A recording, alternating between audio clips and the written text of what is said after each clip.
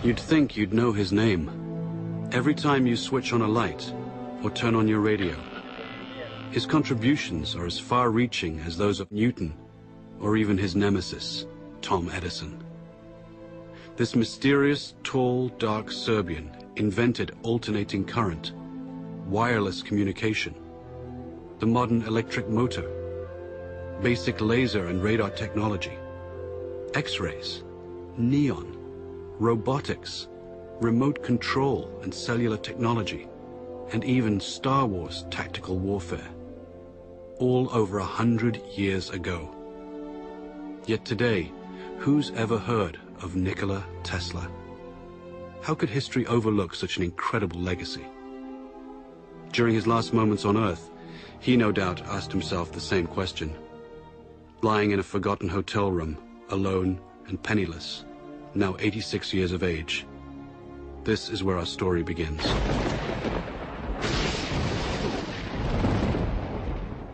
On that final night in January 1943, Nikola reflected on his life in near delirium. The flashes of light. I never had control over the flashes. They are so tormenting.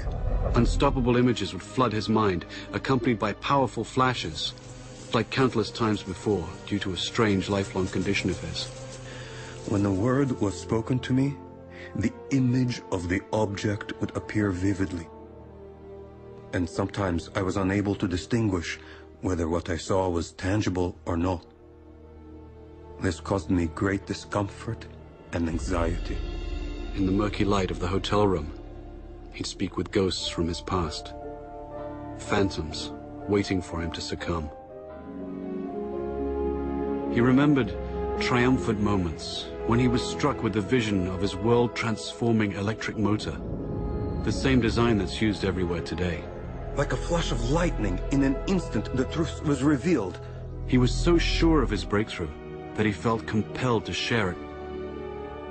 He sailed for New York City, the seat of the modern world.